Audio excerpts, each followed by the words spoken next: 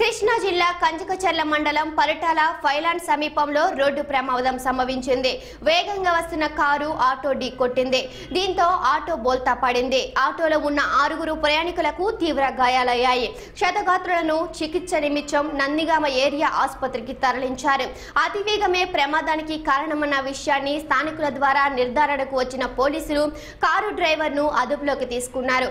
ఘటనపై కేసు నమోదు చేసి దర్యాప్తు చేస్తున్నారు.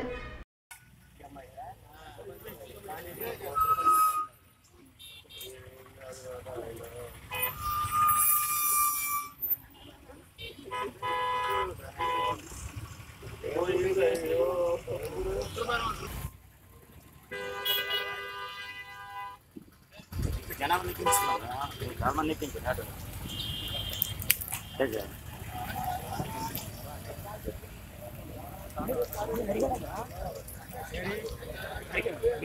రోడ్ వెళ్దామని ఆటో ఇచ్చాను ఆటో ఇస్తే ఆటో వాళ్ళు కాలు గుద్దేశారు. ఆటోలో ఎంతమంది ఉన్నారు? ఏంటి కొట్టింది? వెనక నుంచి.